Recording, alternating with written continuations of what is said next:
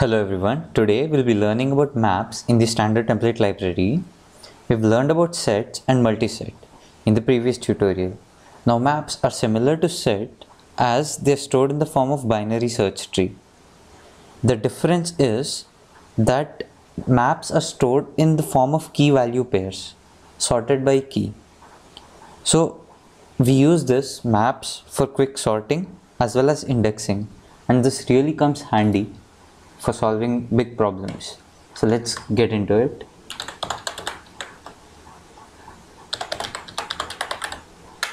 Mm, You have to include the library map to use it.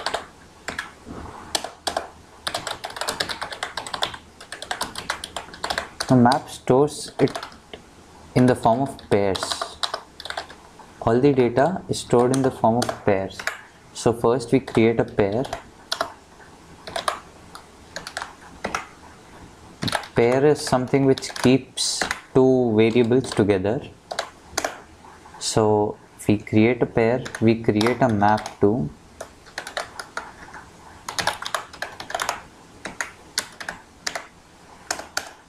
uh, let's say we want to index every character with its ASCII code.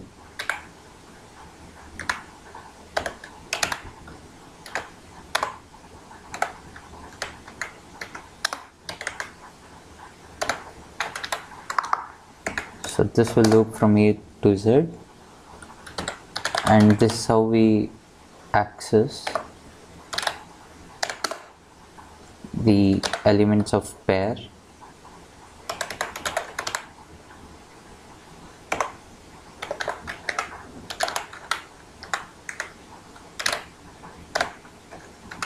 And now we'll be inserting this pair into our map so this prepares our map. Let's uh, create an iterator and loop through our map. Iterate through our map. Here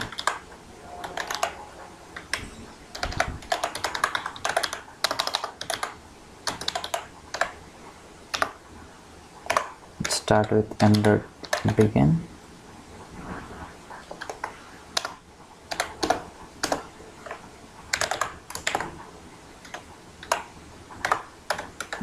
we start from m dot begin which will give us the first value. And we end at m dot end which will give us the last value. So we loop till there and uh, we print it out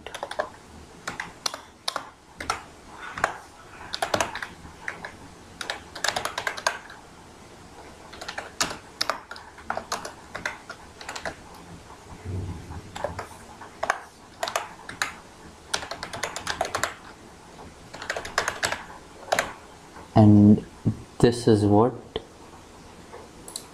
Is our map? Okay wait.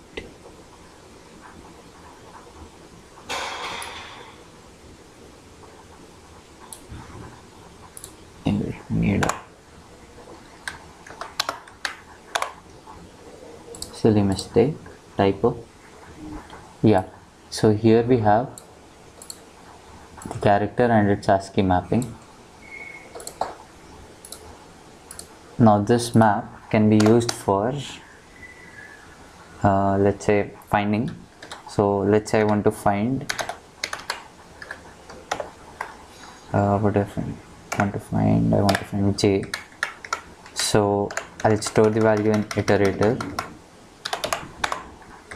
And then I'll print out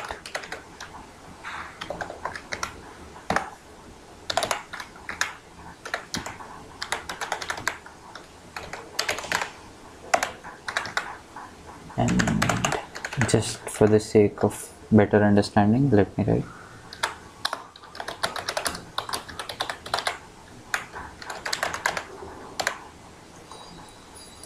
Let's see. So we got j's value as 106 j is 106 so this is how we can use maps in everyday problems or whenever you're trying to solve any so uh, the thing is uh, we cannot change the key value. Like we cannot write this. First is equal to you cannot change it. Say j to k you cannot do this. Because this will then uh, change the structure of the tree in which it is stored in and disrupt the map. So that's it for now guys. We'll be back with more tutorials and in the next one we'll be doing multi maps so hold on thank you